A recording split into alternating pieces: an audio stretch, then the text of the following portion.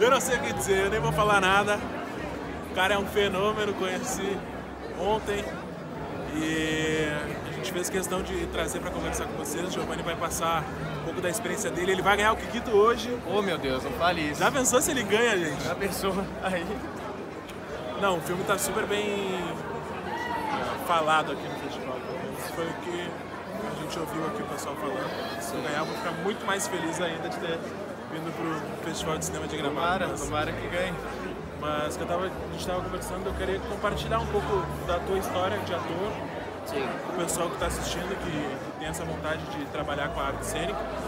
E, enfim, compartilhar um pouco de, de dicas, de caminhos que tu pode passar pra galera. Sim. É a ideia do nosso blog. Bom, foi no, foi num curta de faculdade que eu, que eu acabei é, tendo um teste para o meu primeiro filme, que era um telefilme é, da TV Cultura.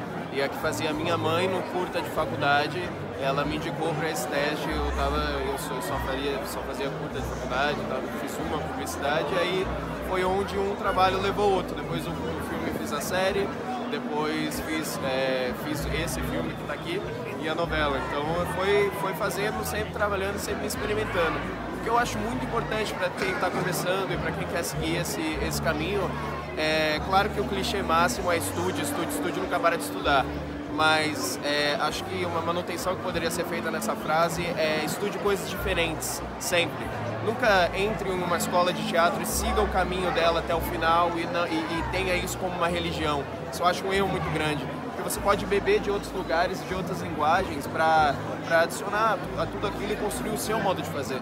Eu acho que a, a arte ela não se ensina 100%, claro que não, não se ensina. Então é ali que você colhe de cada, cada lugar e vai aprendendo a fazer o seu.